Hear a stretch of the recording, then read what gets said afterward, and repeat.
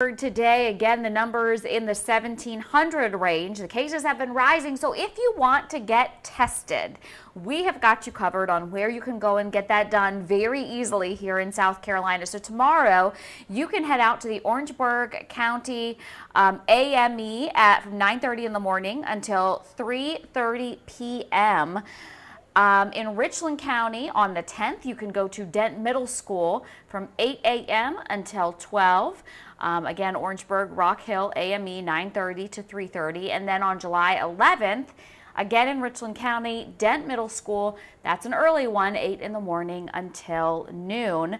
Um, then Lexington High School, that will be testing there um, and also at LR from 8 a.m. to 12 p.m.